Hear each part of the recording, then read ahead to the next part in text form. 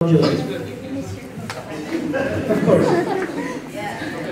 Uh, I can see some audience out there from Georgia Southern. Would you like to wait a little while and uh, have a dinner with us and then leave? That'd be great.